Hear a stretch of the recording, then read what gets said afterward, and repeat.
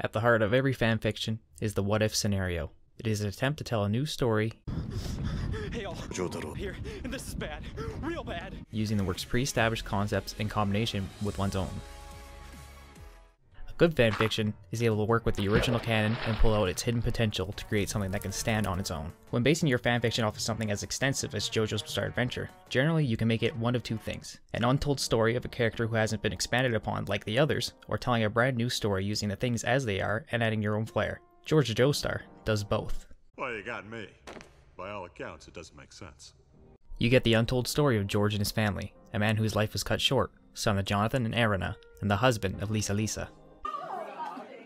Holy moly. In this story, we get to see his whole life leading up to his recruitment into the Royal Air Force, even including what happens between Erina and Dio on the escape from the burning ship and her arrival to the Canary Islands. I am under the water. Please help me. Then George's childhood living with Lisa Lisa, experiencing all the threats that come along with being associated with a talented Hamon user. We also get to see what life entailed in the early 1900s and the impact of bustling new innovations such as the automobile and eventually the airplane, and their impact on the world at large. We get to see how these events influenced George in his adult life, eventually leading him to become a pilot during the First World War. We also get a brand new story of another George Joestar from the year 2012. A teenage detective from Fukui, Japan, that ends up in Morio after setting out to solve a series of locked room murders. Eventually, he comes to find out that all the surviving victims reported having the same dream of a man saying, If Jojo ever comes to Morio, I'll kill him. That man's name being Kira Yoshikage. Don't be intimidated, Sarge. Try to imagine him in his underwear. Oh no, he's hot! Yes, we are back in Morio and back after Kira. Just like in part 4, as our protagonist tries to find out more about him, along the way he's faced with more and more mysteries, resulting in the world around him growing stranger and more bizarre by the minute.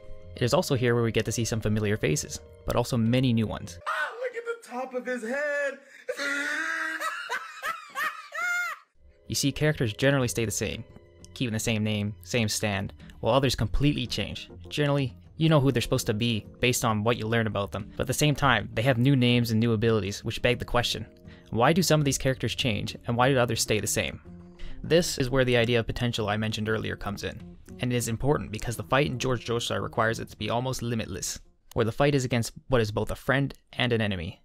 A fight against an influence that has been inextricably linked to the destiny of the Joestars. One where the fight is against fate. Just what would the world have to look like to overcome a seemingly inescapable force? Just how perfectly would everything have to align to get us there? What could cause a character like George to stumble into this in the first place? In comes Kato Tsukumojuku, a child detective who's been present in both eras and working to guide both Georges towards something greater. Kato has the natural ability to solve any case he works in, no matter how bizarre. To him, it seems as if the world is shaped around him. This will be a minor spoiler, which you might not believe after what I'm telling you. He has this ability called Beyond, a god that has ensured him the role as protagonist, but Beyond is no longer with him. He tells both Georges that they now have been chosen by Beyond. He chose me. He chose me. Out of all others, he me. World War I George being told that he is starring in a novel called George Joestar, Th- that's me! That's me! which Beyond is the author of, and because of that, his adventure will be like no other. George from Morio was told that Beyond is a mystery novelist, writing a story in which he is the detective, a fact that he should be aware of. Do you understand? I have several questions. But this also comes with a warning. Gods do not play favorites and won't bend things to the point of disrupting the natural order. So yes, no ass pulls, even though God is literally on their side. Throughout the story, Kato acts as a guardian angel, working between both worlds to lead things where they need to go on Beyond's behalf. By the way, Kato is a character from another fanfic, written by this author entitled Tsukumojuku. He was originally a character from the Japan Detective Club series by Ryusui Seiryoin. It seems that Otaro Maijo has given him a new life of his own, which is one of the reasons why I love this book. You know, other than the whole breaking the fourth wall thing and the author becoming God.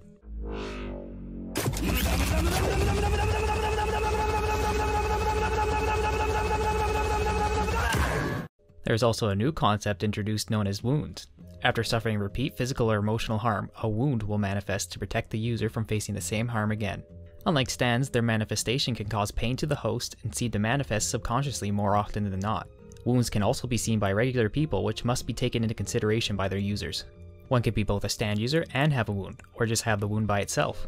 Even stands have the ability to manifest a wound, causing them to grow their abilities to greater heights than ever thought possible. The general idea for power scaling and range for a wound is not the same as it is for stands, creating the potential for an extremely high reaching scale of effect rarely seen in the original series, at times causing Evangelion-esque situations.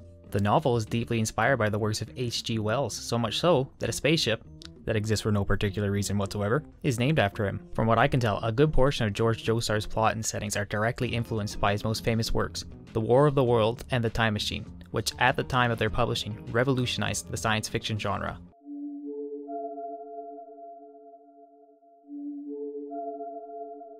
Otaro Maijo borrows strongly from the concepts these works introduce and applies them to the story here, and in his typical fashion, takes it a step above, implementing the ideas of time travel and a multiverse, as well as a worldwide threat, using pre-established JoJo logic. I truly think having the genre of a mystery novel with a detective as a main protagonist works really well in the JoJo universe. If you think about it, nearly every conflict in the series starts with some sort of mystery. Who is the enemy? What is their ability? How can it be countered? What are their motives? For a successful victory, the protagonist and their allies have to seek out answers to all these questions, much like a detective would do. And what makes it even doubly better is that the mystery aspect is amplified by the fact that neither Georges are natural born stand users and have to figure out how to deal with these situations as regular people. It reminds me a lot of Hayato Kawajiri in Part 4, who was able to unravel the mystery of the identity of Kira Yoshikage during the Bites of Dust arc despite not being a stand user. If you enjoyed seeing the way he broke things down and the gambles he took along the way, George Joestar takes the formula behind that and perfects it, creating for a really enjoyable story. Okay then, you might be asking, how does any of this make George Joestar the greatest fanfic ever? Think of all the potential we've seen throughout the series. Think of the ways Hamon can be applied, the growth and its versatility seen between parts 1 and 2. The idea stands and their inherent potential. Just how far can a stand evolve? Both with the power of the arrow and the concept of heaven, and its effects on the stand clearly shows that they have the ability to become something much greater than what they may initially seem. There's also the power of the saint's corpse, which grants boons to those who come in contact with it. Who's to say when and where it came from? It could all just be hearsay. What sort of things could one truly do with the power to reset the universe? What sort of impacts could the decisions of the one doing it have on the world at large? Is there power in belief, like when Dio was able to stop time once he believed he could do so? What sort of limits are there to being the ultimate being? Is there any room for further growth? What kind of stand user would ultimate Kars be? Just what could be truly accomplished through D4C's interdimensional travel if one put their mind to it? Any and all these questions are answered in George Joestar, not to mention the inclusion of wounds and beyond on top of that. Topping it all off with events the size of the War of the Worlds, and abilities so abstract that it can make it feel like Evangelion. All of these things come together to give George Joestar a fighting chance at beating his fate and form one cohesive yet eccentric narrative that I do not think can easily be topped. Suffice to say, there will be a lot of bizarre things going on. So much so that only a detective could begin to navigate it. To me, George Joestar is the ultimate what if scenario, and as such, earns the title of the greatest fanfic ever written. If you enjoyed this video, please like and subscribe. Also maybe hit that bell icon just for me so you won't miss my next video. Be sure to read George Joestar too. Also check out my video on how copyright ruins JoJo, and my review of JoJolion after reading it in 24 hours. Thanks for watching, more videos coming in the future, not just on JoJo. Farewell.